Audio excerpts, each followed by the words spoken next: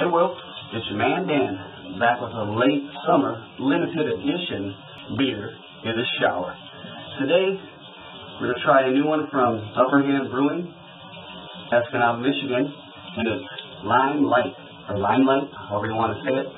Basically, it's their uh, light lager with uh, just a hint of real lime juice in it. Probably a good idea for late summer. Let's give it a whirl.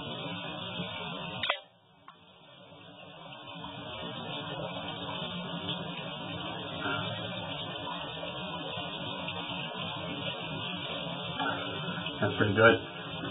On its face, not hitting you over the head with the lime. I know if you had some other ones, some of those lime infused beers out there from the big boys, um, they can really be kind of tart. This is just kind of faint. Um, seems pretty crushable by the pool if it needs something like that. This be something to go to. So yeah, give it a shot if you get your hands on one. Upper Hand Brewery, Lime Light.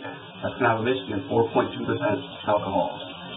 Perfect for a summer day, beach, pool, and of course here in the shower.